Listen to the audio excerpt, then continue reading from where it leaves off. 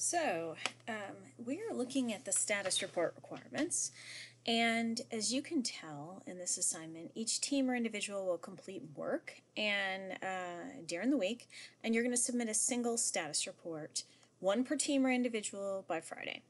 So, you're going to work, you're going to look at the overview, you can work ahead if you wish, and you're going to submit a single status report.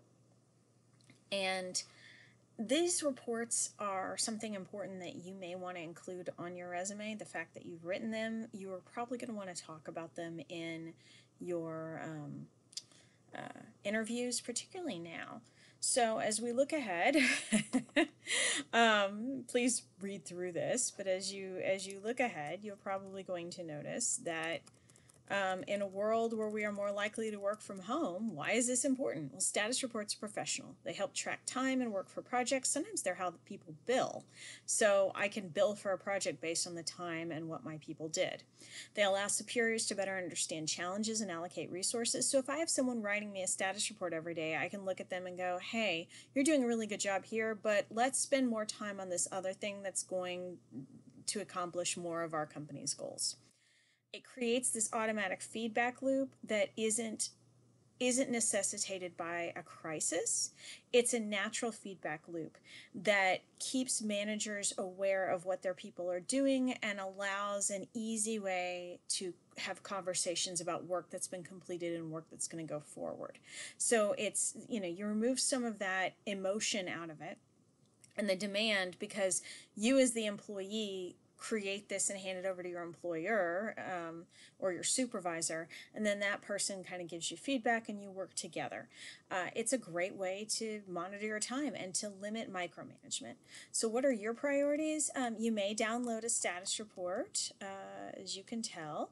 Uh, template. So how do you download a status report template? If you're, you know, if you're in Word, go to File, New, and then you can look at a template, and I'll look at one in a minute, and you can adapt it to meet our assignment criteria. Um, please make sure you ask your boss uh, if you do create status reports, uh, what kind that person would prefer.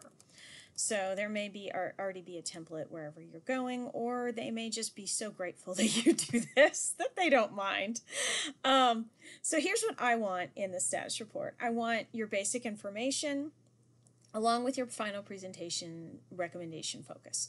So if you've decided to do the correct English recommendation, great. If you want to do one that's more geared towards COVID 19 and where we're going now, and a recommendation you think someone should take uh, because of that situation, that's fine. Um, you're going to need to narrow your focus, and I'll give you some feedback on that. Tools. Um, look at the technology access of team members or yourself and let me know what's going on. So if you're an individual, you're also going to write one of these. Um, so what's your internet access and reliability right now? What type of software and or and or website tools are you using for the different parts of your presentation? So make a decision.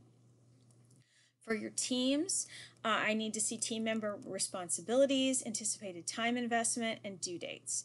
So that doesn't have to be in that order, um, but I need to see them for all of the things like the handout, the visual aid, and the final presentation. Please don't do the final presentation on the day it's due.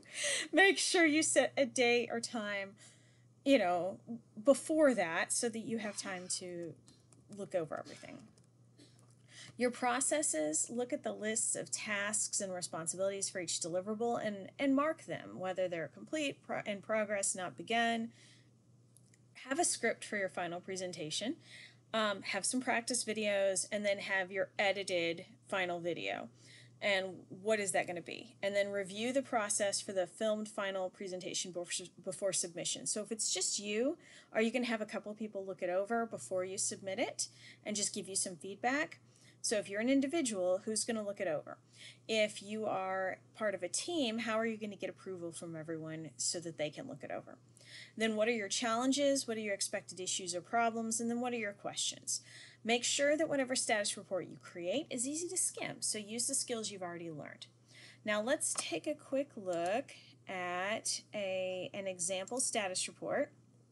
So this is one that is a template and you would change various things. So you can click on them and change them. What progress is, what project is this? We'll change that name. um, or you can leave that and put your actual project name, final, uh, BCOM 3310 final presentation. What is the date you're submitting it? Um, here's the legend. Do you want to use that same legend? They have color coding here. Um, you may want to put your team members um, somewhere in here. You can uh, insert something else if you wish, maybe a little text box. And uh, you can, let's see, uh, you can play with that and make it work. Um, or you can just put, put your group, uh, group members in parentheses. And then you can go through here and say, okay, I want to address everything McCrady said. Um, and you can change this to address it better. Decide if, uh, decide if, you know, what you have is adequate. You can change any part of this. So you can change the company name to BCOM 3310 the semester. But, um, and then this is the abstract. Now, if you were doing this week to week, you would create it and then every week you would update it. And you would give this to your partner and it would keep everyone on track. So this is part of project management, which is a role, as you can see, is going to it's going to become more and more important. Um, the ability to do this is critical, and as we look at working from home, you can see why supervisors would want to hire people who work this way, who think this way, and and you know create easy feedback loops that don't involve a lot of drama. I hope this helped. um, this should not be a crisis. This is an ability to think through what you're doing so that you set reasonable timelines and you alert me to questions or problems. You can ask them early, and we're all literally on the same page. I hope you're doing well, and uh, I'll talk to you later. Bye.